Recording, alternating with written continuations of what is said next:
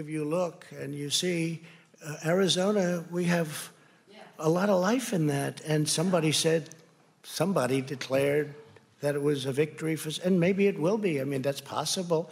But certainly there were a lot of votes out there that we could get because we're now just coming into what they call Trump territory. I don't know what you call it, but these were friendly Trump voters. And that could be overturned. President's right.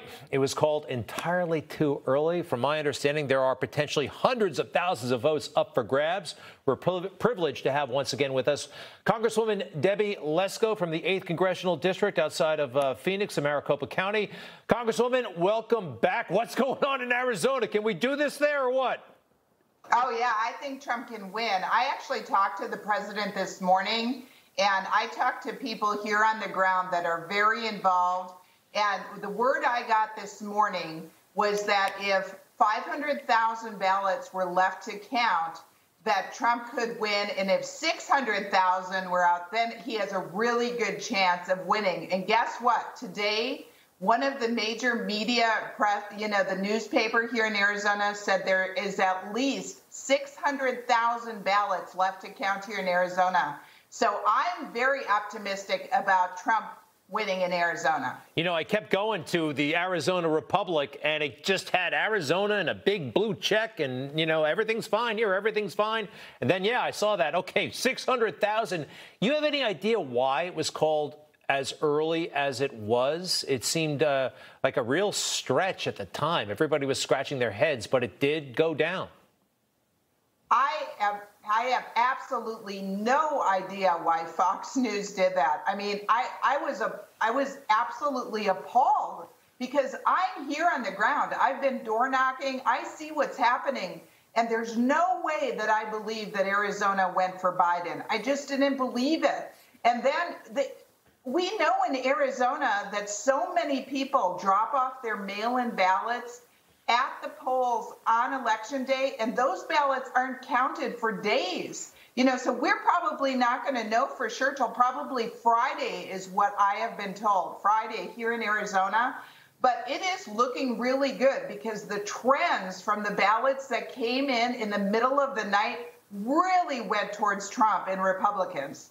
Okay. Uh, hundreds of thousands, though, are, are, are still out there. And these are what happened? They were just in, in, in, in, these drop boxes you were talking about? I mean, that's a lot of votes. Um, that's a lot to be laying around, quite frankly.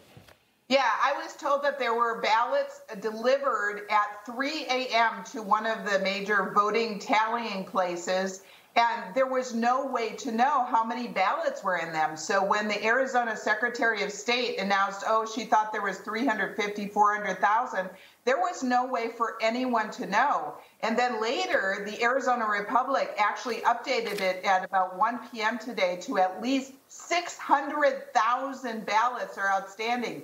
Here in Arizona, we've been doing mail in ballots for years, 10 years now.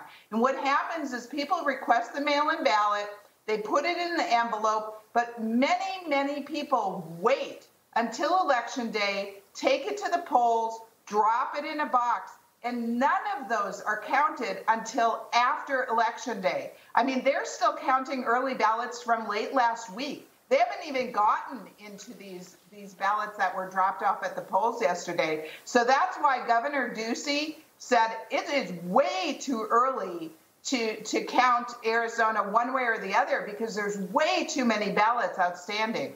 Okay, and this is important because if President Trump wins Arizona.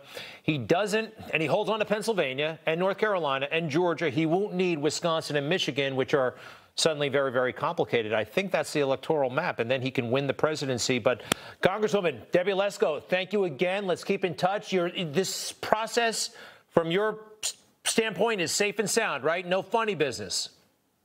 Well, there was some reports of funny business. So I had people email me. I'm having people email me that are contacting me, and I'm forwarding it to the lawyers because, you know, I don't know if it's legit or not, but I want to make sure somebody checks it out. But in the meantime, I really think that President Trump has a real good shot of winning Arizona. And I'm just not I'm not a delusional person. I'm not just saying this for the sake of saying it. This is real. I have talked to credible people. This is very real here in Arizona.